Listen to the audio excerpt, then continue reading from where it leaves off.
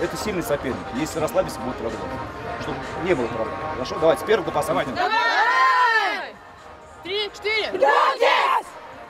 Ргуть из Подмосковья сегодня самый титулованный клуб страны. В стартовом матче четвертого заключительного этапа чемпионата России девушки сыграли со сборной Дагестана. На поле фавориты и аутсайдеры турнира. Счет соответствующий. Команда из Подмосковья не оставила сопернику ни единого шанса, выиграв со счетом 32-0. Наверное, больше сложно чисто мышечно, потому что такая погода, слякоть, и как ты можешь ударить это просто под ногам.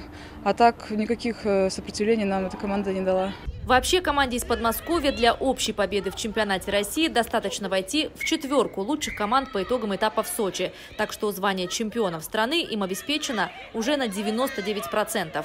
Для тренеров такое уверенное лидерство – отличный шанс попробовать на поле молодежь.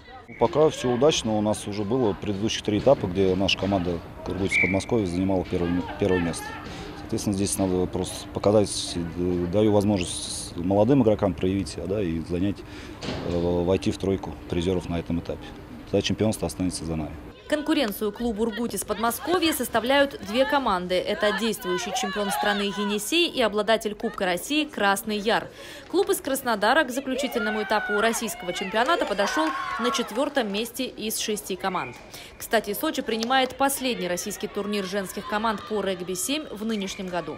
Дальше сейчас э, заканчивается чемпионат команды возьмут двухнедельный отдых, а дальше будет уже привлекаться сборная и будет э, отбор, готовиться к отбору на Олимпиаду и играть мировую серию. Сейчас два этапа в октябре и в ноябре-декабре. Мировая серия по регби-7 пройдет в Колорадо и Дубае. Ну а пока турнир в Сочи. Завтра клубы проведут свои заключительные встречи. Шесть ярких матчей по 15 минут.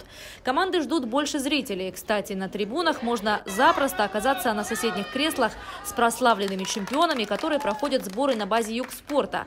Сегодня, например, за игрой наблюдал скелетонист Александр Третьяков, олимпийский чемпион игр в Сочи. Ольга Десятова, Михаил Дубинин, телекомпания ФКТ.